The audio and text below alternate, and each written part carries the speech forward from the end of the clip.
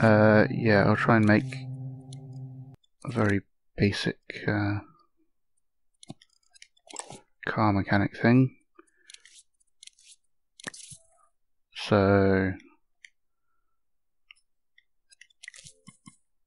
move those up, and I want a chip. Um, so I'm going to put a chip in here, but face it that way, and I'm going to put it um, out in front a bit because that's that's actually the point that the default camera will orbit around is the is wherever the controller sensor is. So if I put the chip this way, then it will be looking at it from the other way, from the front of the car, um, which isn't what we want. So it kind of it's to do with the orientation of this gadget.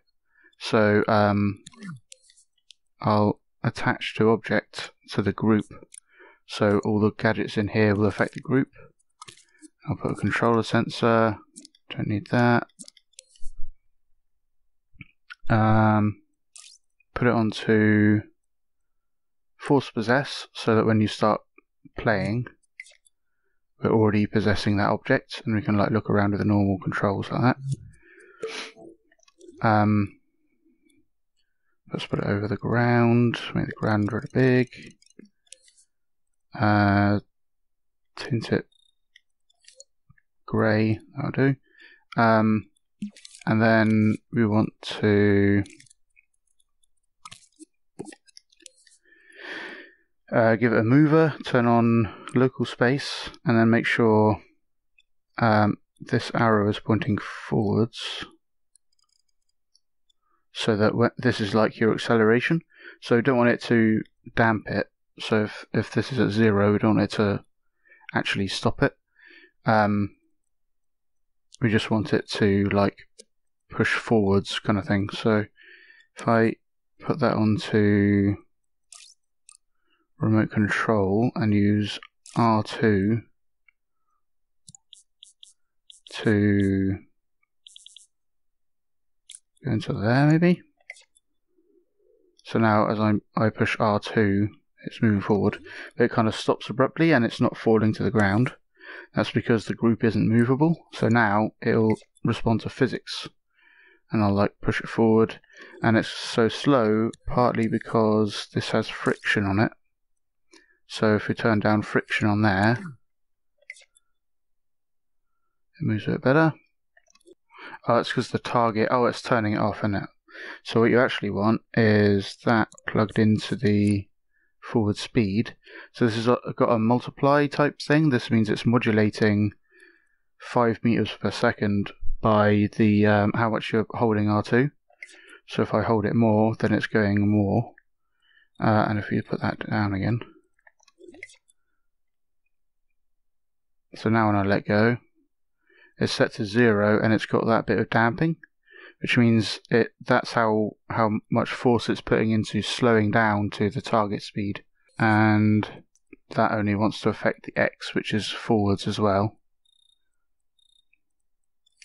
Right, so now we want to be able to brake. So if we uh, add the add the R2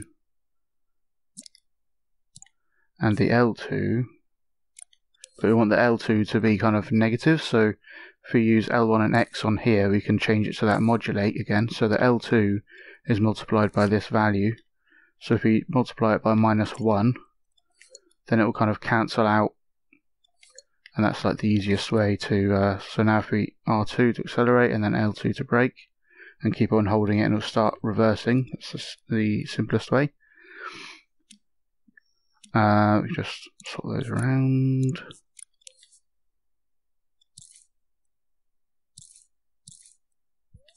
So that's minus one again.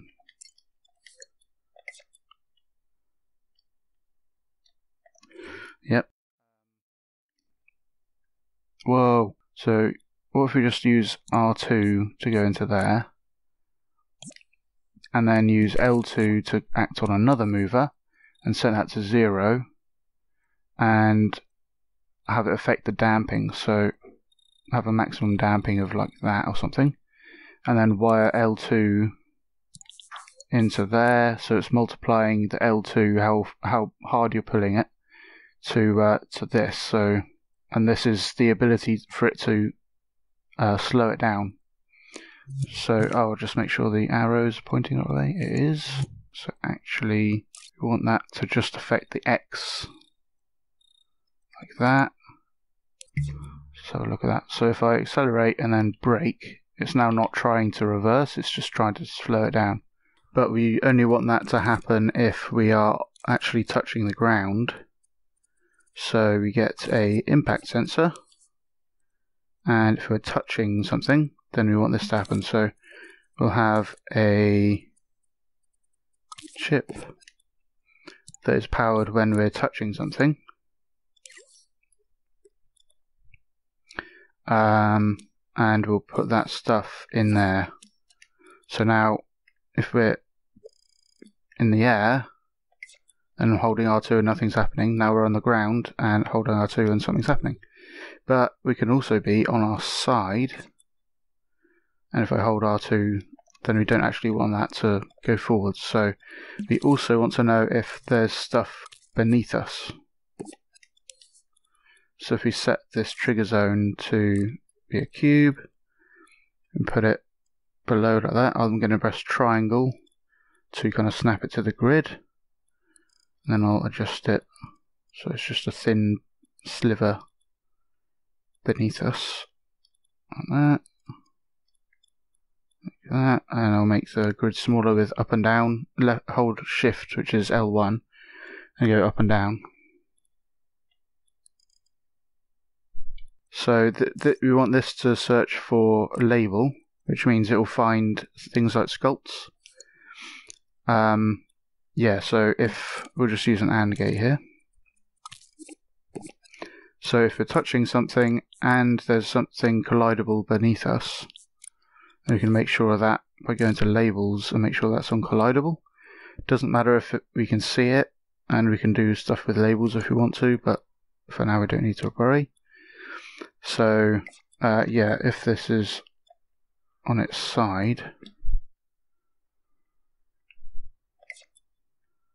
then I hold R2. Oh, it's because the uh,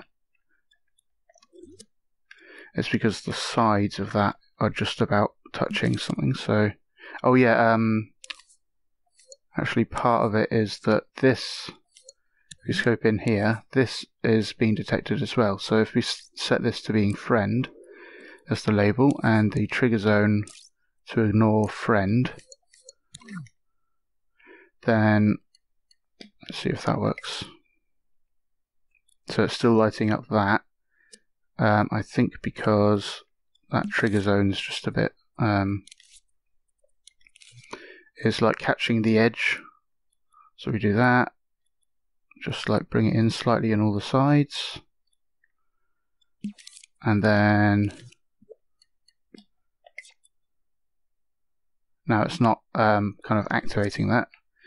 So that means that um, if it happens to fall onto its side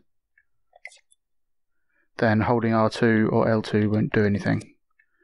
Um, as if like the it needs traction on the ground. I am going to put that in a chip actually. So this is detecting if it's on the ground. Um, and it'll have a node coming out of it saying it that it is.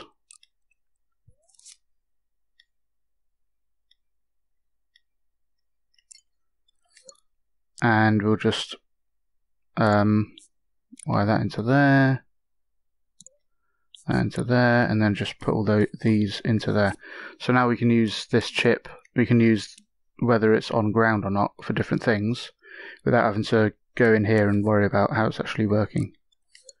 So um, the cool thing is you can quite easily adjust things uh, using these same principles so that it works um, more realistically or whatever. So uh, with this on ground thing, you can make this more granular. So you could say if um, if uh, the trigger zone on the back detects ground, then it can accelerate. But if it only detects a separate trigger zone on the front, um, then it can't accelerate, but it can steer.